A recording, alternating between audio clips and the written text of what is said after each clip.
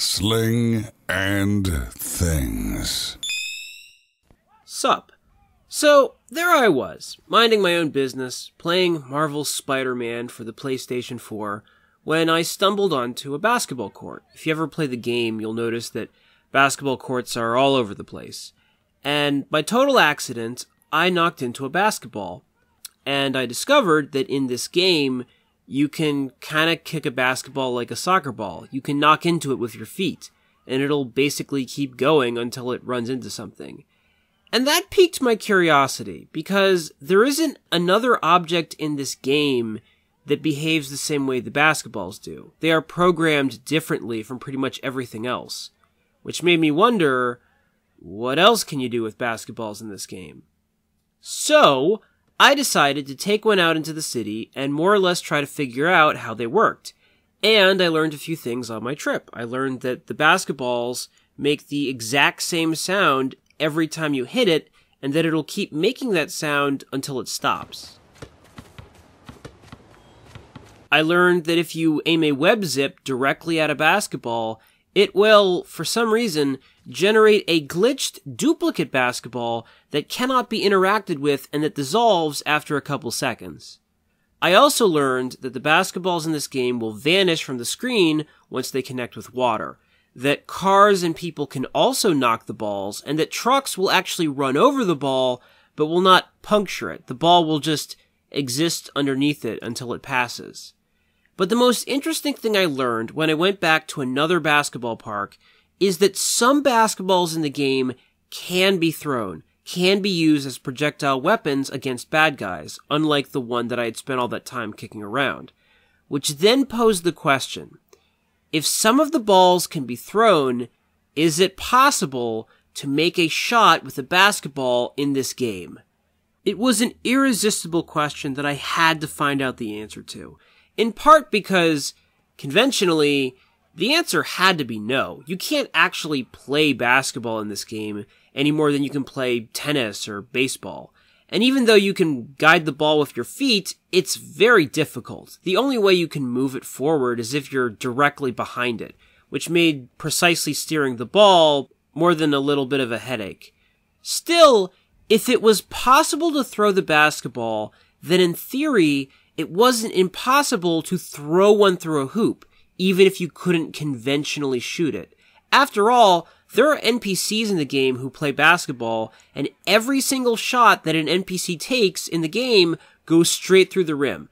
Every time. The NPCs in this game are amazing basketball players. The entire city has a 100% shooting percentage. And I figured, hey, if they can make every one of their shots I can make one. So, after a superfluous costume change, I headed to a court to see if I could do this, to see if I could make a shot. And the initial results of my experiment were less than encouraging.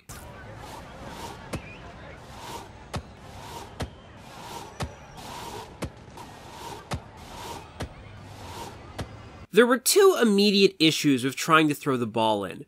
For one thing, the backboard doesn't work like a conventional backboard in this game. It works like a wall, and if you hit it with the ball, the ball just bounces back at you. This meant that it wasn't possible to actually bank in a shot, which was a massive blow to my efforts, because in order for the ball to go in the hoop, hypothetically, it would have to go straight in. The other problem was that Spider-Man can only throw the ball really, really hard, and he can't throw the ball that high either, meaning that it was impossible to actually shoot it far enough from the basket for the speed at which he was throwing it to be negated.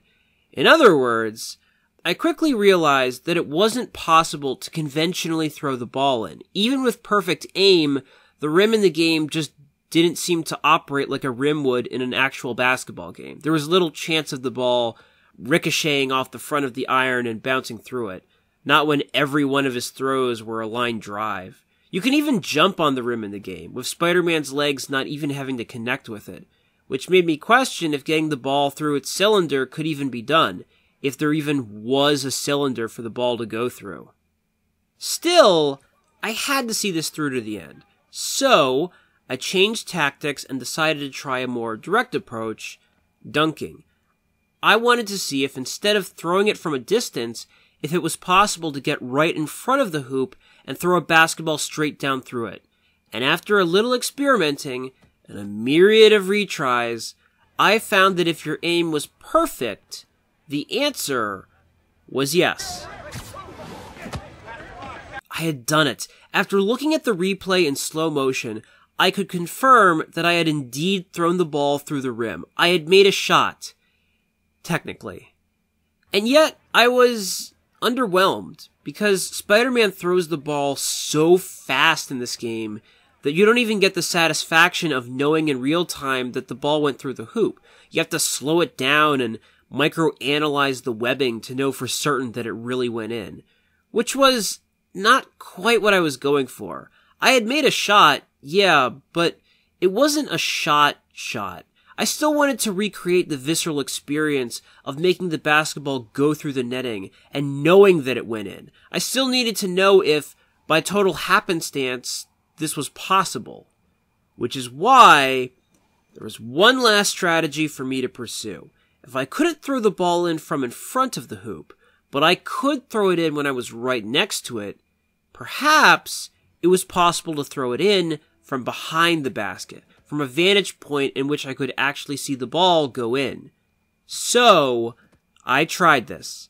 And I tried, and I tried, and I tried again and again and again from as many different angles and with as many different button presses as I could muster I did my best to catapult the ball in from behind the backboard.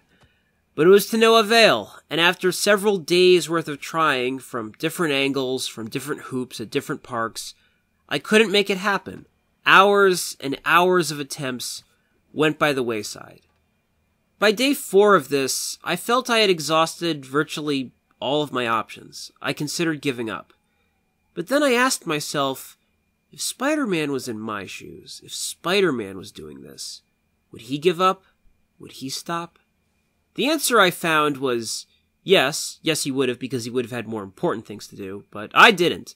And plus, it didn't matter anyway because by this point I had put so much time into this experiment that I needed to have closure. I needed to know what would happen if I could somehow get the basketball to fall from directly above the hoop.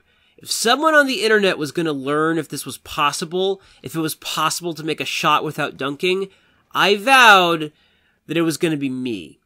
Which is why I resumed trying and trying and trying, all the while hoping that by some miracle, by some freak occurrence, I could somehow stumble into making this happen. Truthfully, I was encouraged by the fact that occasionally throwing the ball at the basket would make the game glitchy. So if nothing else, I was hoping that maybe instead of making leaves hover off the ground, or instead of making onlookers float on top of fences, maybe there was a way to make the ball hover by accident too. So I kept trying, and trying and trying, and sure enough, by total luck, I managed to make some progress, though it wasn't at all what I had been anticipating.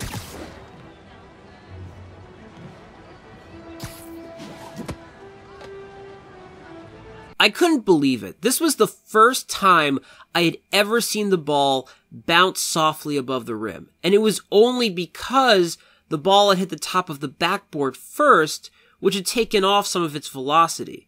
It was a breakthrough, but it was not an easy breakthrough to recreate. This could only be done in a very specific way. I had to be behind the backboard, Spider-Man's legs had to be at a precise angle, I needed to throw the ball directly at the center of the top of the backboard, be not even an inch off in my aim, and in order for the ball to bounce that high, to still have enough oomph after hitting the top of the backboard, I could only do this by throwing a basketball that was positioned far away from the hoop meaning I could only attempt this at certain courts. The probability of pulling off this trick shot was minute. But it didn't matter because now I had a template to go on. Now I knew that if I could just tweak my aim a little bit, I would know one way or another if this was possible. I resumed my attempts and had to go through the agonizing process of reloading the game over and over and over again because once you throw a basketball, it dissolves after a couple seconds and can no longer be used anymore. And after a few more tries and reloads, I got even closer to making it. And closer, and closer, and closer, and closer. And after that, after all that waiting, a new plateau, a new achievement was almost reached. Ah, that close. Look at that again. The ball touched every damn part of the rim, bouncing and bouncing and bouncing before finally rolling off at the last second.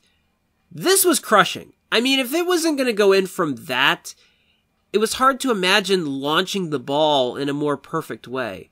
But perfect was the only thing I had yet to achieve. It was clearer than ever before after that attempt that the game was not going to bail me out on this. The ball was never going to conveniently bounce in unless that's the way its trajectory was going.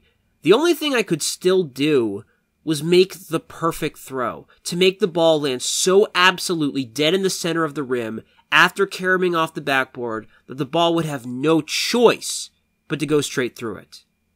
I resumed my throws, knowing I was closer than ever before, knowing I was on the precipice of possibly achieving something, something stupid but kind of cool at the same time because who cares? It's a video game. So I kept going, making throw after throw after throw after throw after throw until finally I did something I have not managed to do before or since. I made the perfect throw and I watched in awe as